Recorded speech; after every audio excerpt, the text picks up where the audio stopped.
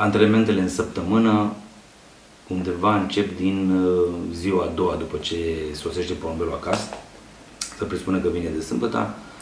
Acasă, duminica nu, uh, nu zboară afară, sau chiar dacă ar zbura, ar dăm undeva cât să iasă ei, să învârt 10 minute și dacă vor să așeze, îi lasă să intre. Asta este în prima zi. Următoarea zi, um, um, încerc să le ridic, să mă apropii de o, eu știu, undeva la 40 de minute, o oră cât pot ei și așa o țin uh, uh, toată săptămâna.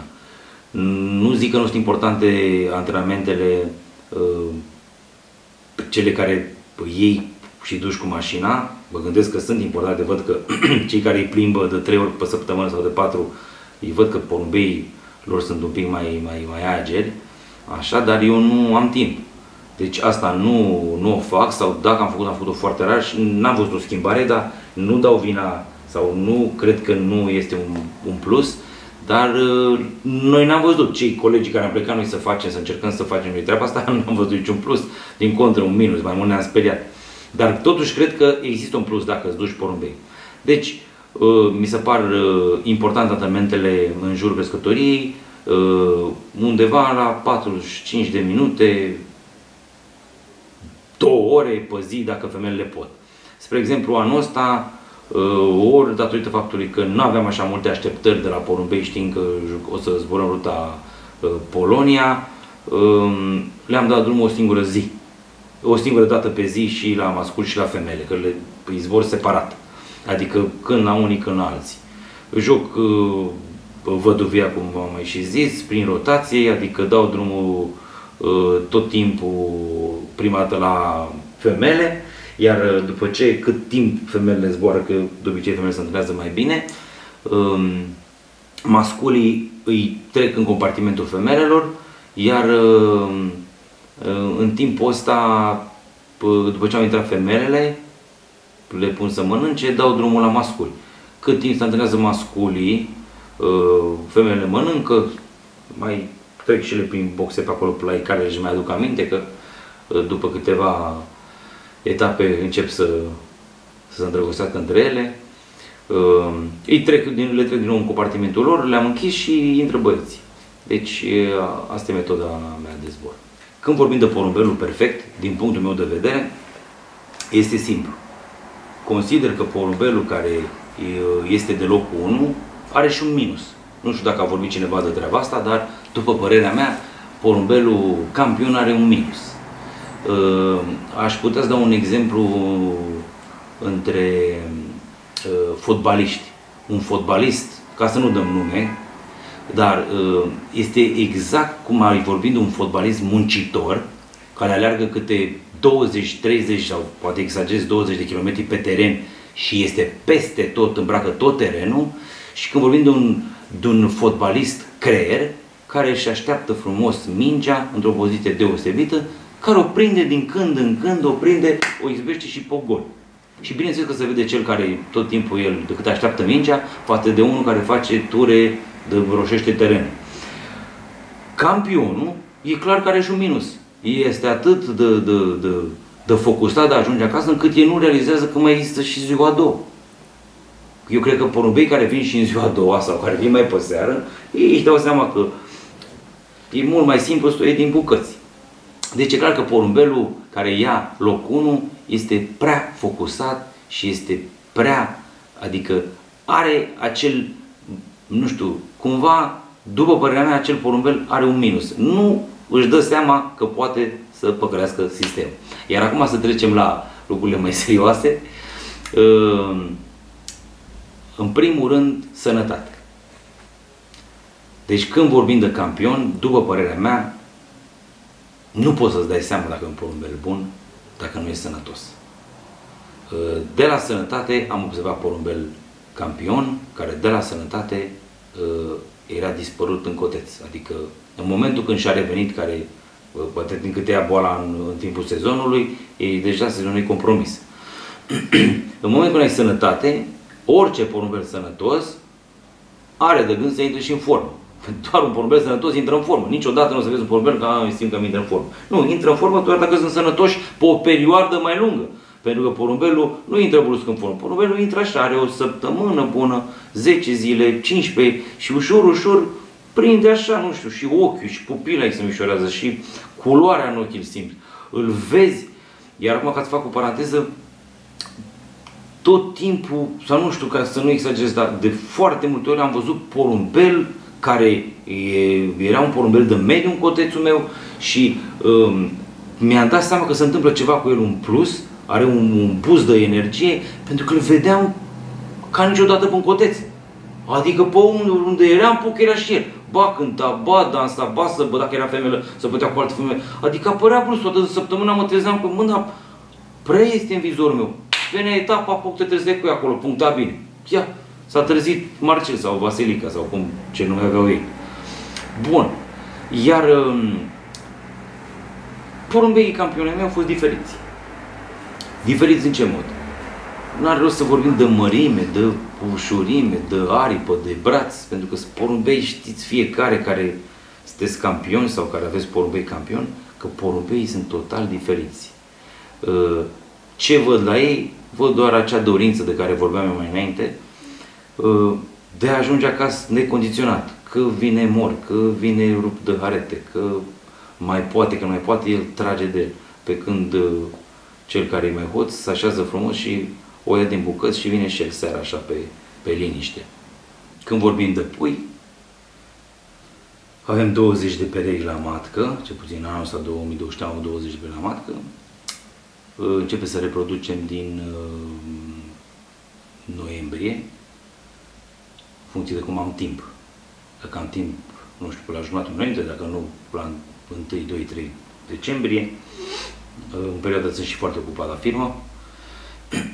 Ehm, și scoatem serii până când putem să zburăm. Adică, cred că undeva la patru serii de pui. Ehm, prima serie scot ehm, din toți, iar de la a doua serie nu mai scot din toți. Cel care, mai ales matca, produși noi de la matcă, care produși noi de la matcă, în principiu sunt 90% dacă nu mai bine, pentru că ultimul meu porumbel cumpărat e în 2019, adică nu sunt adept. Îmi place să aduci porumbei, dar aduci când n-ai, când ai, dar ce să mai aduci? Aduci ca să ce? Uh, dacă nu mi-au dat prin pui să-mi placă de ei, cei care sunt noi la matăta Divi, cu un an în urmă cât care au fost, uh, nu mai reproduc și vor fi doar crescători. Vor fi crescători dacă pe timpul iernii au trecut și au ajuns la matcă, pentru că trebuie, ca să ajungi la matcă, lăsând la o parte că ești în porumbei care mie mi-au arătat că funcționează, sau care sunt reproducători, pui din reproducători, uh, fac o paranteză, pentru mine cel mai bun porumbel uh, este porumbelul care este reproducător de reproducători zburători. E foarte rar, dar există. Porumbel care reproduce, porumbei care reproduc porumbei de zbor. Ăla e cel mai important și eu pe ăla îl caut. Poate de asta am și ceva rezultate cu nimic porumbei pe acolo. Vorbesc de categoriile care le joc eu. Bun. Uh, ca să revenim la pui, uh, deci acea pereche, dacă nu mi-a dat primii doi pui, sau poate iese decât unul, cum îmi doream eu, nu mai reproduce și va fi crescător. Ca să fie, să fie crescător la ceilalți porumbei să le ia ouăle în primire și să ducă pui până la final, trebuie neapărat să aibă un comportament frumos. Ce înseamnă? Gâneați de 11, gât de 11, piept de 11 de când îl știu și până, adică cât are el 7, 8, 9 luni de viață uh, acel porumbel care este la matcă și uh, doar așa poate să-și ducă pui ori al lui, ori al, al alte perechi care el îi crește. Bun. Uh, în jur de 100 de pui, să zic eu, că duc până la sfârșitul subiectului. Aș duce și mai mulți, dar dacă sunt perechi care eu nu mai reproduc din ele, pentru că oricum la treia serie de pui nu mai reproduc din mulți, se reproduc doar din unii porumbei care sunt favoriți. Și cum reproduc, e clar că iau trei masculi, unde am trei boxe individuale, de un metru jumate sau de 2 metri, un metru jumate pe 90 de centimetri, unde uh, sunt uh, folosiți pe post de armăsari și uh, stau cu mai multe femele, iar ouăle depuse le cresc, uh, le cresc la alte perechi. că dacă n-aș face treaba asta, aș scoate mult mai mult, că din 20 de astea, că faci ori 40 de porumbei, ajunge departe. Și îi zbor, de obicei planul de zbor care le facem noi la, la clubul nostru, nu zburăm cu ceas pentru că nu că nu mi-aș dori, că eu sunt campion la campion național la pui, dar clubul nu, nu are această, nu împarte această pasiune cu mine și cu alți colegi, că mai sunt colegi care și-ar dori cu ceas, iar dacă lumea nu vrea, pentru că uh, ei nu vor să se vadă că, eu știu, că e cineva în față, vor să stăm așa pe, pe, pe izolat, să nu ne privim unul pe altul careva, deși colmofilia este, de e și frumoasă, că atunci când este ceas, uh, să vede adevărul, că nu este ceas, toți avem în același minut. Bun, uh, îi zburăm până la 350-400 ca și anul ăsta unde ne-am bătut joc de ei, nu mai avem din cei zburați, nu știu dacă mai sunt 30 de porumbei. uh, în Drăgășani, că am făcut o catastrofă, cine a făcut-o, cine a organizat-o. Și cam atât. În rest, uh, mâncare ușoară, le dau aproape tot sezonul numai geri să mănânce. Uh, ca tratamente o singură dată în an sau deloc le fac un tratament de tricomonoză la poișori. De antrenat îi ducem, îi duc colegii, nu plec singur, mai îmi iau 2-3 colegi și mergem la 5, 10, 30 de km până la 40 chiar. Le fac 2-3 etape de 40 de km și consider că sunt pregătiți să plece și la 100, 100 și ceva de kilometri cu mașina de transport. Când, um, uh, deci când alegem hibridizarea și consanguinizarea, nu trebuie lasă niciodată. Adică trebuie să mergi după flair. Nu are rost că a făcut Vasile nu știu cum și a făcut Tudor nu știu cum, nu. N-a făcut nimeni nimic. E tot o întâmplare. Ai luat cărțile frumos, le-ai bătut, ai împărțit 5 cărți la unul, 5 la unul, ai luat ce ai? 4 azi și pa.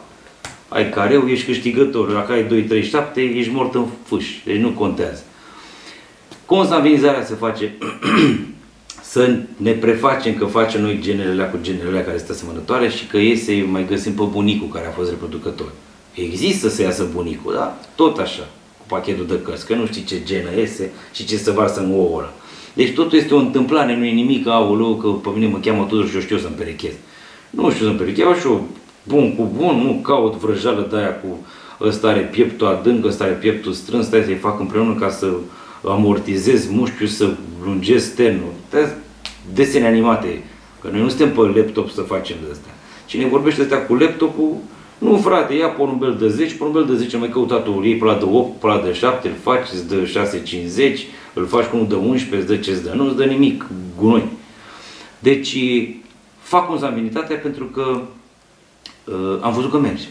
Sunt porumbei care, i-am și un coteț, o linie de porumbei care în consanguinitate să mătuiesc, mai apare o la bagăște, mai un, un șarpe cu ochi, adică nu este tot timpul ce vrem. Dar uh, în mare parte porumbei în consanguinitate, nu chiar așa strânsă. Am făcut și semifrați între ei și bunică cu uh, nepot și tată cu fică, am făcut. Nu tot timpul au dat pe plus, dar dă și cu plus, că cum dă de hibridizare, dă și de consanguinizare. Uh, la zbor, ce nu v-am spus, nu împerechez. Zburătorii îi împerechez, pardon, uh, nu, nu scopul din ei.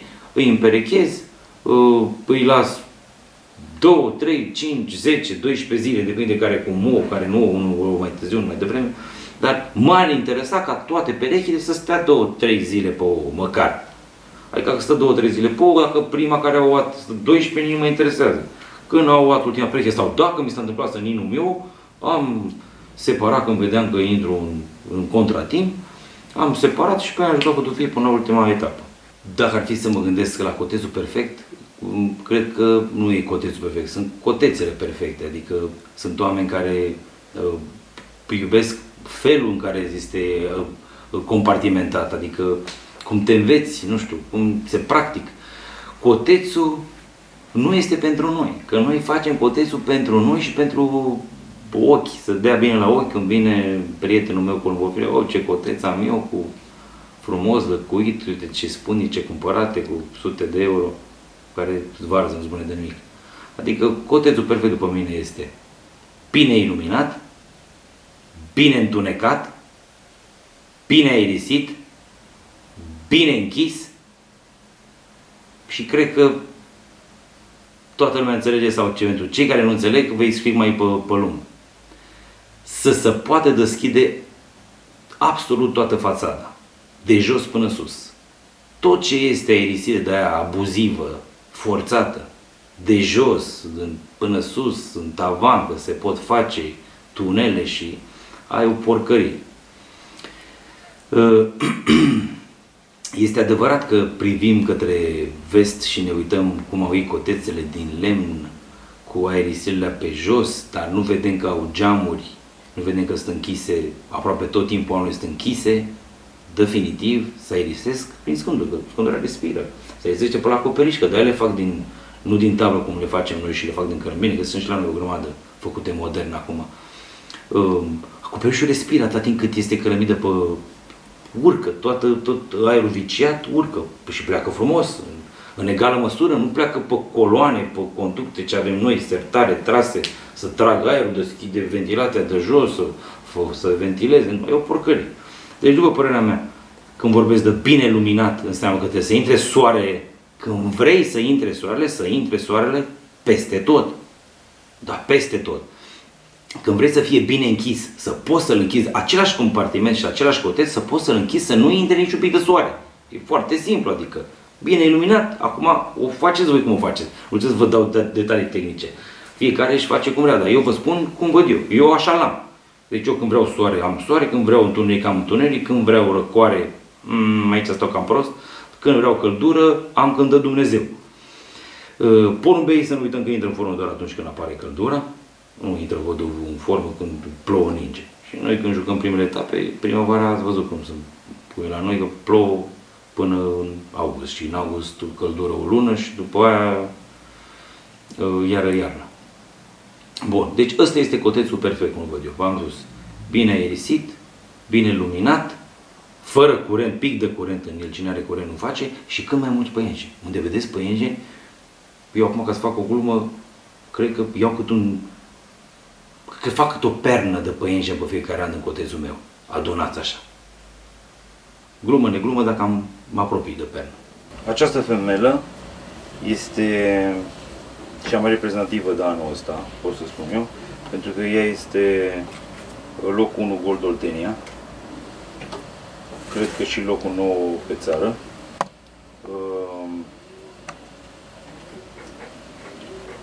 este, are și locul 1 pe județ și locul 1 pe deci ea este bucuroasa câștigătoare a sumă de 23.000 de lei anul ăsta. Um, ca origine, mama ei este soră bună cu dublu meu olimpic,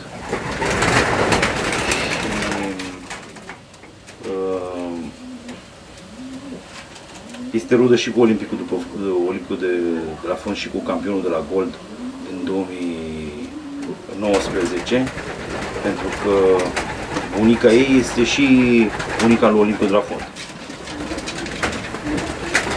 Avem uh, femela cu seria 300602, o femeluță care anul ăsta mi-a dus bucurie la o categorie nu dragă mie, da. Dacă acolo a putut, ne-am bucurat de dânsa. Este cel mai rapid porumbel al meu de când este columbofil. Deși sunt vicecampion la viteză pui, n-a reușit, a fost mascul, n-a fost uh, femelă. Deci e cea mai rapidă femelă a mea, ca și Yarling, la categoria viteză. Dar mama ei este femelă, cred că cu locul 1 general, este femelă cu locul 10 as Uh, locul 10 național, as național Iarling și locul 1 pe județ în 2020. Tatăl ei este uh, 65 un porumbel din tic-tac și cu 900 Dumitrache Marian, locul 3 palmares de maraton, care acel 65 în anul uh, la un an de zile, a reușit uh, să facă, nu mai știu, parcă 23 de puncte fond uh, național Iarling și a luat și un gol național în 2019, iar în 2020 a fost locul 6 uh, uh, național uh, olimpic general. Uh, iar în 2020, 2000, cred că 2020 a fost și uh, locul 11 azi național uh, uh, porumbel.